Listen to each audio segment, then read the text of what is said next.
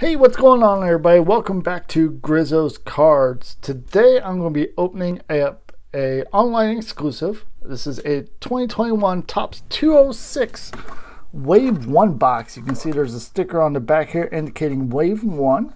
Uh, so these get released on Topps.com. Uh, each wave is available for like two to three weeks. Uh, retail price is $14.99 per box. There are 10 cards per box. Uh, there's different parallel. I think you're guaranteed two parallels in each box. Uh, there's going to be six total waves this year, is my understanding. So just keep checking their website if you're interested in getting these. Um, I've never opened any of these. I don't think I have any singles of these cards as well, but I thought they looked pretty interesting.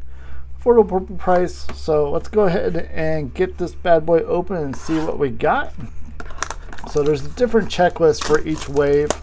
Um, so I don't expect players to really to cross over between waves.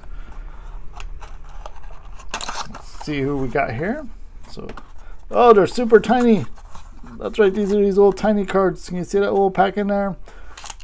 For some reason, I was expecting full-size cards. Again, I don't have any of these in my collection um, as far as singles or anything. So we got a little single pack here.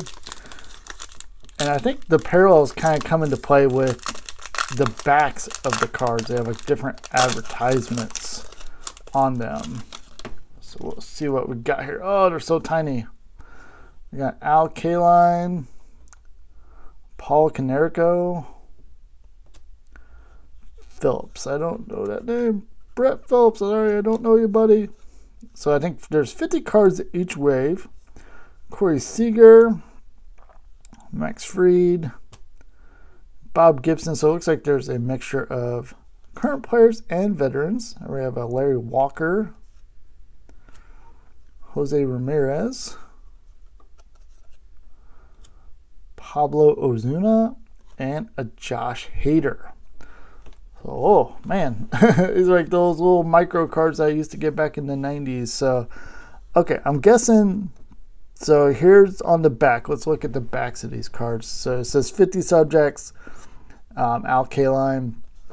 So these first several are going to be just the standard base, and then we'll get into, I'm guessing the last two are going to be my parallels. Yeah. So yeah, you get two parallels per box. So this first one was Pablo Ozuna probably the least card that you want to get out of the set with his current status.